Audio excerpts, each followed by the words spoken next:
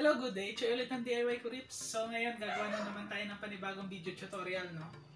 So, dito sa video tutorial natin na to, no? Pagsasama-samahin natin lahat ng mga video diagram na nagawa natin dun sa previous na mga video natin, no? So ngayon dito mag-install tayo ng dual contact horn. Nasasamahan natin ng installation ng mini driving light, one relay setup. So isang relay lang yung gagamitin, no? Madalas kasi dalawang relay yung ginagamit dito. Pero ang gagamitin natin, one relay lang. So ito no, lagi kong nababasa dun sa comment, okay lang daw ba yung one relay setup na ginagawa natin sa mini driving light? Ah, kasi pagka one relay setup ang ginawa nyo, once na in-start nyo yung motor nyo, working na agad yung relay. Ah, sinasabi nung iba masisira daw yung relay kasi all the time mag-work siya habang ginagamit mo yung motor. Unlike dun sa two relay setup na gagana lang yung relay once na inon mo na yung ah, mini driving light mo. Actually ito no, tried and tested ko na to. Even dun sa sasakyan namin, ginagamit ko tong ganitong wiring setup. Yung one relay. Ah, hindi basta-basta masisira yung relay no, kahit na ganitong setup yung gamitin nyo. Ah, dahil alam naman natin na mayroong mga capacity ang relay. For example na lang, yung mga madalas na makikita yung relay ngayon sa market, 40 amperes yun. Ah, ilang amperes lang ba yung mini driving light? Ah, nasa 4 or 5 amperes lang. So kahit sabihin yung whole day nyo pang buksan yan, hindi basta-basta masisira yung relay nyo. So as long as tama yung computation nung ah, accessories na in-install nyo sa motor nyo, walang magiging problema dito. So kailan ba nagkakaroon ng problema yung sa pagwa-wiring, no? Ah, kahit na hindi one relay setup yung gawin nyo, kung mali naman yung computation na ginagawa nyo sa wiring nyo, yun magkakaproblema talaga kayo. Bibigyan ko kayo ng example, no? For example, ang accessories nyo is 20 amperes. So, napakataas nun. Tapos, gagamit kayo ng gauge 22 na wire. So, super nipis. Kahit na sabihin yung tatlong relay pa, dalawang relay pa yung gamitin nyo, ah, pagka ganun yung ah, wiring nyo, sigurado masusunog yung wire. Kasi ang lakas nung accessories nyo, 20 amperes, ang nipis ng wire nyo. Tw- ah, gauge 22. Tapos mag gagamit kayo ng relay na 80 amperes. Yung relay nyo hindi masisira yan. Ang taas eh. 80 amperes, 20 amperes lang yung accessories nyo. Pero yung wire nyo, gauge 22, masyadong manipis. Yung wire nyo magpupulbos. O kaya naman masusunog yan, no? Ah, iinit yung wire, masusunog yung pinaka-insulator, yung balat. So pagka mali yung wiring computation nyo, doon nagkakaproblema. Pero ito, ah, yung sinasabi natin one relay setup, kahit na whole day nyo buksan yung motor nyo, kahit na mag long ride kayo, no, hindi magkakaproblema yan. Kasi mataas yung capacity ng relay natin, 40 amperes. Tapos yung mini driving light natin, 4 amperes lang yun. So masyado pang malayo, kahit na magdagdag pa kayo ng iba pang accessories, tapos whole day yan nakabukas, walang problema. Ah, actually, na-explain ko na to dun sa video ko eh. Ah, kung gusto nyo, panoorin nyo na lang yung ah, patungkol sa power lines. In-explain ko na dun. Pati yung pagko-compute ng mga accessories na pwede nyo i-install, no? Dun sa one relay setup natin. Na-explain ko dun. So, panoorin nyo na lang yun. Mas marami kayong matututunan dun. So, dito, mag-install tayo ng dual contact horn, mini driving light, one relay setup. So, isasama na rin natin dito yung interrupter relay installation, no? Para mag-rapid horn setup yung pinakabusina nyo. Tapos, yung passing light, yan. Tapos, ah, idadamay din natin dito yung pagka nagbubusina kayo, nagpa-flasher yung pinaka mini driving light nyo. So, medyo mababa siguro tong video na to kasi ang dami nung gagawin natin na installation diagram. So, ito yung madalas na setup na makikita nyo sa mga motorcycle shop na hindi naman sinishare talaga. Kasi syempre, business nila yon no? Pero ngayon, isi-share ko sa inyo, lalo na doon sa mga ah, mahilig mag-DIY. Ah, by the way, doon pala sa mga nagko-comment madalas, no? Ah, or, o kaya yung mga nagpi-PM doon sa account ko. Ah, nababasa ko naman yon kaso nga lang hindi ko na nare-replyan lahat. Kasi meron po akong trabaho, no? Ah, sideline, sideline lang to or hobby-hobby lang. Ah, so, hindi lahat nare-replyan ko. Pero yung iba kasi, nagbabaklas na ng motor tapos sinusundan yung wiring natin. Pagka nakita kong ganun yung ginawa nila, no? ah, minsan nagkakaproblema kasi sila, nagtatanong kung ano yung kailangan gawin or ano yung mali na nagawa nila. Pagka ganun, nire-replyan ko sila. Kasi nagbaklas na ng motor eh, kawawa naman. Minsan nga on the spot, ginagawan ko sila ng diagram para lang at least meron silang masundan. Kasi aside dun sa diagram na ginawa natin, no, meron pa silang mga upgrades na gustong gawin. Ah, hindi lang nila alam kung paano nila gagawin. So, on the spot, ginagawa ko sila ng diagram. Siyempre, pangit yung pagkaka- pagkakasulat ng diagram, no? Kasi on the spot lang. Unlike doon sa mga ginagawa natin, siyempre, tine-prepare ko na sila beforehand. Ah, tapos, sinisend ko na lang via messenger. Ah, alam naman yan ng mga natulungan na natin, no? Ah, hindi ko lang talaga kayo ma-replyan lahat.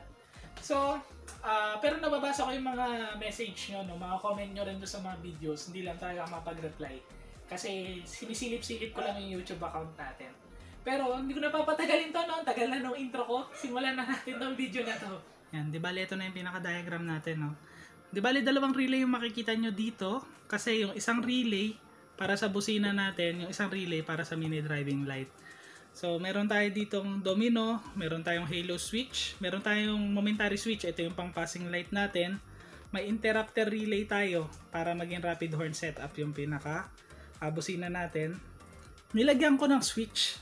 Etong switch na to, halimbawa, ah, pagka nagbusina kayo, pag naka-on yung switch, sasabay yung mini driving light nyo para magpa-flashing siya. Pero pagka in-off nyo yan, kahit na magbusina kayo, hindi sasabay yung pinaka mini driving light natin. So, hindi lahat no, nagkakabit nung ganito. Pero ituturo ko sa inyo kung paano. Para at least, control nyo kung kailan magpa-flashing yung mini driving light nyo. Siyempre, unang-una yung mga relay natin, kukonect muna natin dito sa ating positive ng battery, dadaan sa fuse.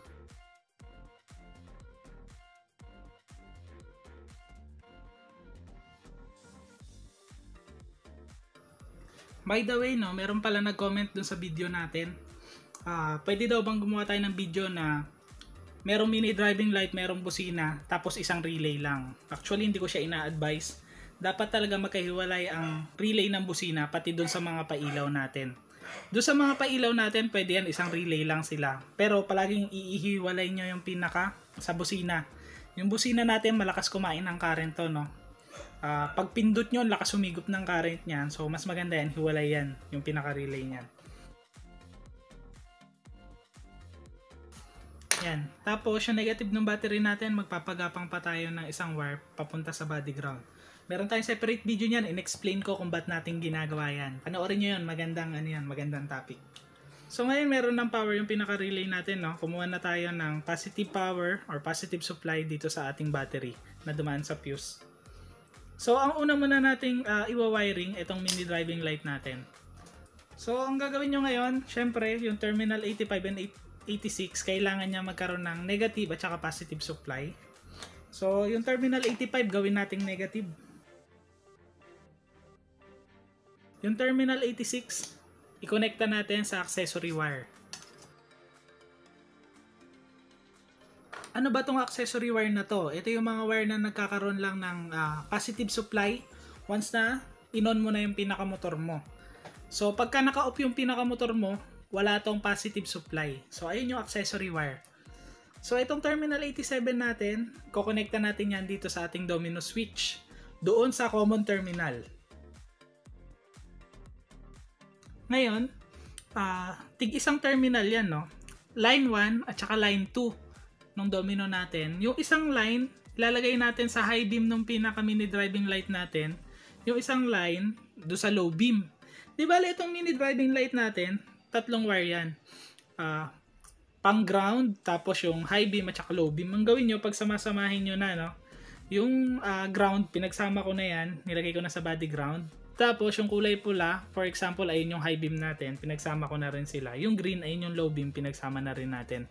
Ngayon, no, yung mini driving light natin, ah, minsan, apat na wire na yan. Merong wire doon na pagka nasupplyan ng positive supply, sabay na umiilaw yung high beam at saka yung low beam. Siguro, mas maganda yan, no? Pagka merong ganun yung pinaka mini driving light nyo, wag nyo nang i-wiring yung pinaka high beam nyo. Ang gawin nyo na lang, yung low beam natin, isang terminal dito sa domino switch. Tapos yung wire na magkasabay yung high beam and low beam, ah, ayun na lang yung i-connecta nyo dito sa isang line pa ng domino switch. Yung pinaka high beam lang, pwede nyo naman i-ignore yon balutan nyo lang ng electrical tape. Ah, yung iba pinapagana yan lahat, yung high beam, yung low beam, tapos yung sabay yung high and low. Pwede naman yun. Ah, siguro sa ibang video na lang, wag na dito kasi mas tatagal yung video natin. Pero dito sa video ko, pinakita ko sa inyo high beam lang at saka low beam. So ngayon, uh, mag-assign na tayo no, isang terminal papunta dito sa ating low beam. Yung isang terminal papunta sa high beam.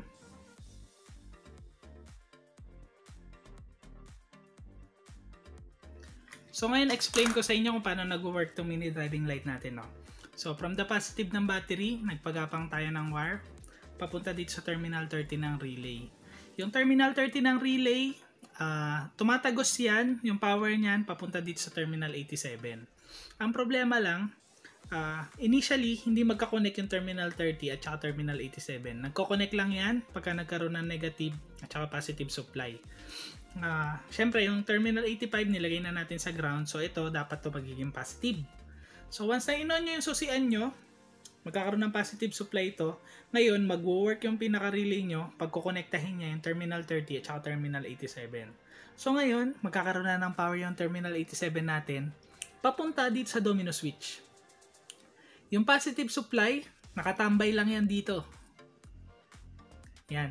Pero once na pinindot nyo na to, no, halimbawa pinindot nyo yung taas, yan, uh, gagapang na yung pinaka-current, no? For example, dito sa low beam, yan, papunta sa mini driving light natin. Yung mini driving light natin, iilaw na yan. Yung low beam, kasi low beam lang yun na supplyan. Tapos meron na kasi yung ground wire. So, kumpleto na yung circuit. May positive, may negative. Iilaw yung pinaka mini driving light. Once na pinindot mo naman yung baba, ang mapapower niyan is yung ating high beam yan. So, walang connection dito sa low beam. So, hindi ilaw yung low beam dahil ang pinindot nyo is yung uh, high beam. So, gagapang na yung uh, positive from dito sa common, yung sa gitna, papunta dito sa high beam. Iilaw yung high beam. So, ganun nag-work to, no? So, meron nagko-comment, no? Uh, dahil ang pinapower daw natin is yung pinaka-domino switch, uh, wag na daw tayong gumamit ng relay. Useless daw yung relay natin. Uh, sabi niya, mas parang ang ginawa na lang daw sana natin, from battery, dumaan ng fuse, dumiretso na agad ng domino switch. Wag na daw gumamit ng relay, useless daw yung relay natin. Kasi all the time working daw to once na inon mo yung accessory wire. Uh, hindi po pwede yon Kasi pag ganun yung ginawa nyo, isipin nyo, battery, fuse, papunta dito sa switch. So all the time yung switch nyo, may power yan. So pagka pinindot nyo yung low beam nyo o kaya yung high beam nyo, magwo-work na agad yung pinaka mini driving light nyo. Pwedeng pagtripan yung motor nyo. Nagparking kayo sa mall, sa uh, mga parking lot, i-on lang yung mini driving light nyo, nakailaw yan. So, malolobat yung motor nyo. Kaya tayo gumagamit ng relay para at least uh, magkakaroon lang ng power yung pinaka domino switch natin once na naisusi nyo na yung pinaka motor nyo. Oh, at least hindi mapagtitripan yung pinaka motor nyo. Hindi malolobat yung battery nyo. So ngayon, punta naman tayo dito sa ating dual contact horn.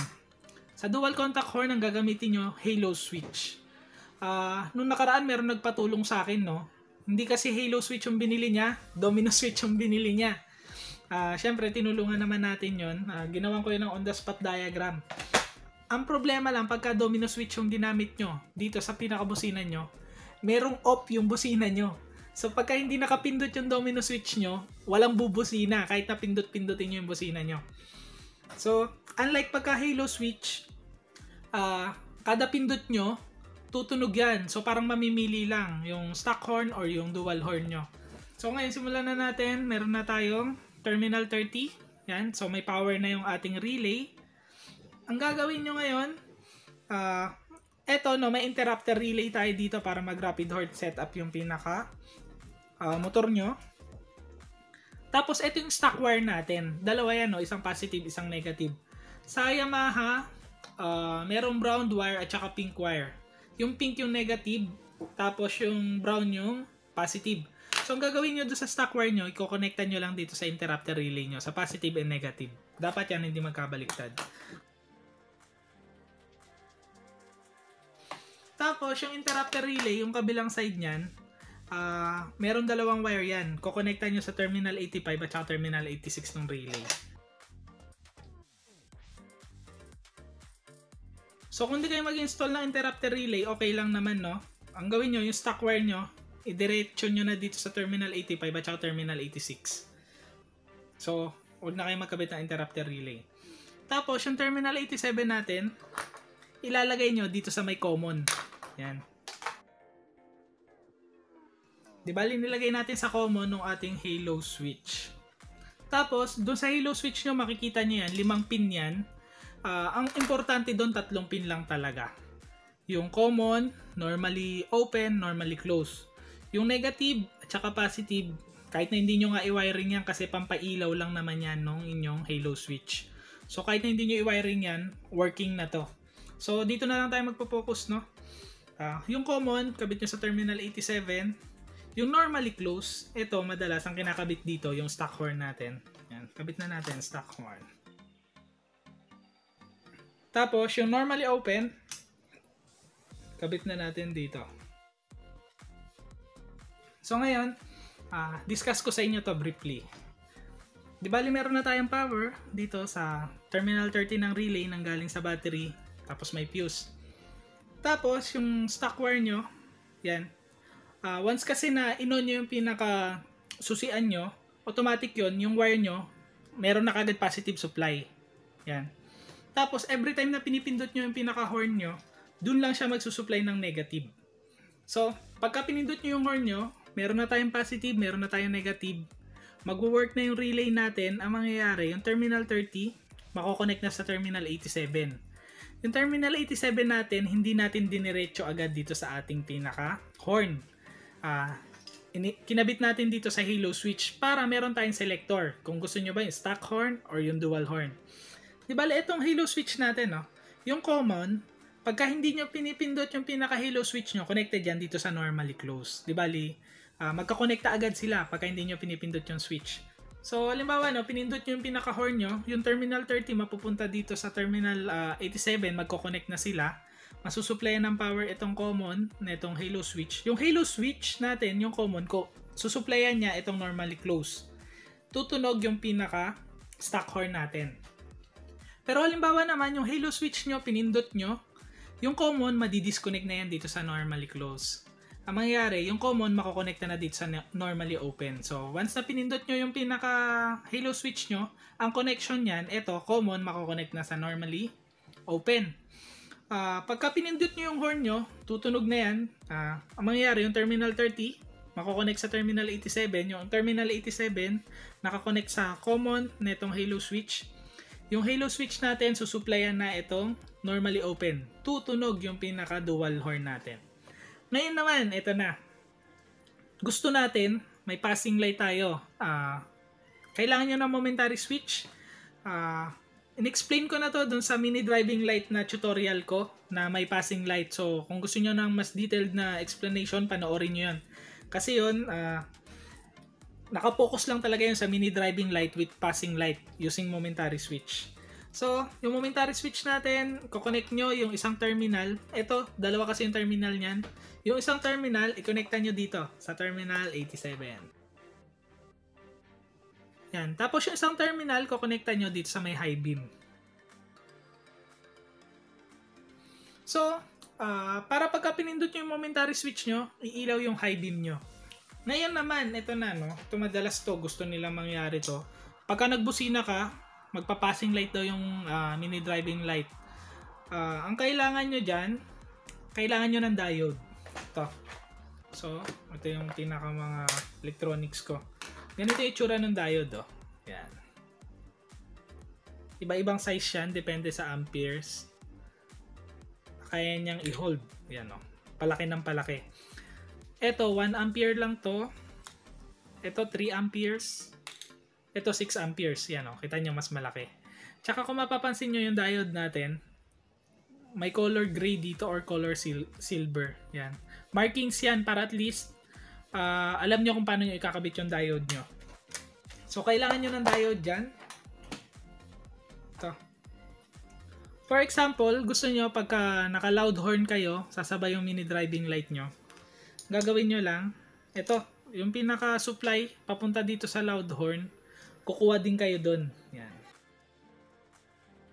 So, connectan nyo sa switch.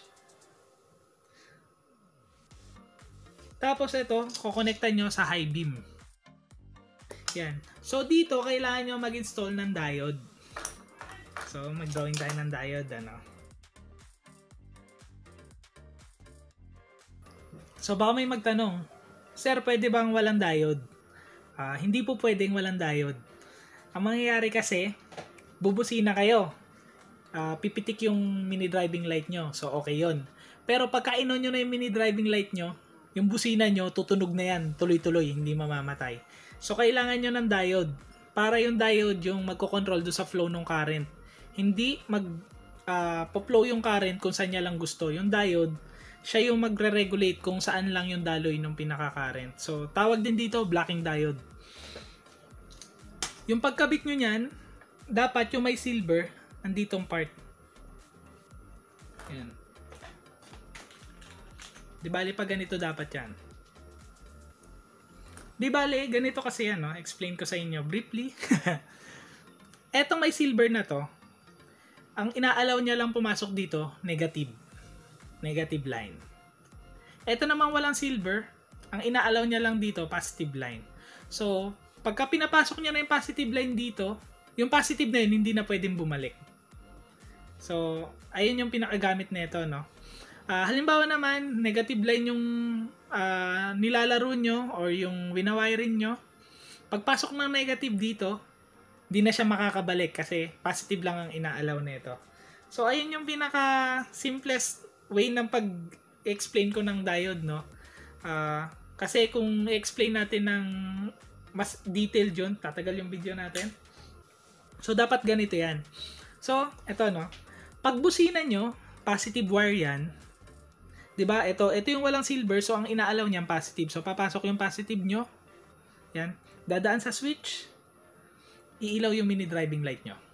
Pero isipin nyo naman, pagka inon nyo yung mini driving light nyo, yan, yung high beam, kunyari, inon nyo. Papasok yung positive dito, iilaw yung mini driving light nyo. Pero dahil may wire tayo dito, dadaloy din yan dyan. Isipin nyo kung walang blocking diode, no? Pag on yung mini driving light, oh, papasok din dito yung positive, dadaan ng switch. Bubusina na kayo, tuloy-tuloy na yung busina nyo, hanggat hindi nyo pinapatay yung pinaka mini driving light nyo. Pero since na meron kayong blocking diode, isipin nyo, pagdaan ng positive from mini driving light, nandito yung meron silver. Ang inaalaw lang nito is negative. So, stuck lang siya dyan. Hindi siya makakapunta sa busina. Pero yung supply natin sa busina, makakapunta papunta ng mini driving light. 'Di ba? Napaka-useful ng diode. So, ganun magkabit ng diode, no? Oh, ngayon, kinabitan natin ng switch, no? Halimbawa, naka-off yung switch nyo, kahit na busina kayo ng busina, hindi sasabay yung pinaka-mini driving light nyo. Pero, pagka in-on nyo na yung busina, sasabay na yung mini driving light nyo. Ah, yung iba kasi no, ayaw na sumasabay yung mini driving light katanghali ang tapat. Bubusina kayo, pumipitik yung mini driving light. Maganda to sa gabi lang. So kaya nilagyan natin ng switch. Sir, paano naman? Gusto ko rin kasi pati yung stock horn ko. Pagka stock horn yung ginagamit ko, ah, pwede rin umilaw yung pinaka mini driving light. So, ganun lang din. Ah, from dito sa supply ng stock horn natin, yan, kuha tayo, no? Tapos dito. Yan. Papadaanin din natin ng switch. Kasi gusto natin ako control eh. Kabit ulit kayo ng diode. Blocking diode. Yan. So, ganyan ulit yan. So, mapa stock horn or yung dual horn nyo, pwede nyo pasabayin yung pinaka mini driving light nyo. As long as i-on nyo yung switch. Sir, paano yun? Ayoko nung may switch. Gusto ko all the time sumasabayan. Pwede naman. Tanggalin nyo lang yung switch. Direkta nyo yung connection. Di ba? So, eto na yung pinaka-simplest na diagram na pwede kong gawin, no? Saglit. Disconnected pala to. Hindi gagana. Sorry, sorry. Yan. Connected na siya. Yan. So, ito na yung pinaka-simplest na diagram na pwede kong i-share, no? Na full pack na. Dami ng function may passing light kayo, meron kayong mini driving light na one relay setup, meron kayong horn na may selector, may uh, stock horn, may dual horn, tapos yung gusto nyo na yung pagka nag-horn kayo, nagpa-flashing yung mini driving light, tapos may selector pa, may on off, may on off switch. Uh, kung wala kayong ganitong switch, kahit na bumili kayo ng isa pang Halo switch, pwede naman, no? Halo switch yung gamitin nyo. Ang gagamitin nyo lang, common, pati yung normally open. Ayun yung gagamitin nyo. So, ang haba na na itong video natin, no? Hopefully, ah, sipagin kayong panoorin. Ah, hopefully, may natutunan kayo. And nakatulong sa inyo ito. Ah, salamat nga pala doon sa nag-subscribe sa channel natin. Ah, tapusin ko na to. Ride safe sa atin lahat. God bless.